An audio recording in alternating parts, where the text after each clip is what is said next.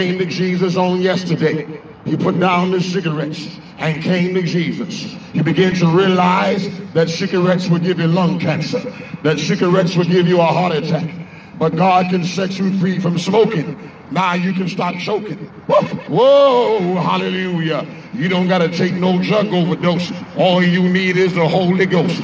Give the Holy Ghost is better than taking a drug overdose. Can't nobody love you like Jesus. Mm. Jesus said in Acts chapter 1, verse 8, after the Holy Ghost has come upon you, you shall receive power. Just repent.